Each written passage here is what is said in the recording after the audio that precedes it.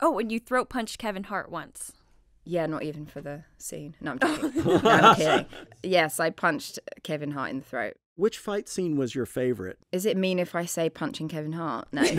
um, it, no, I love Kevin. He's amazing. There was another fight sequence where I beat up two security guards. In the out of the Um, elevator. Yes, in the sort of uh, bank vault in um, Army of Thieves. Yeah. And that was a very, very tricky, intricate fight. And we shot a lot of that on one shot. And so it was really a sort of almost like a dance routine. I felt like when I saw that fight, I was so like proud of it because it was really tough. So that would probably be my favorite one.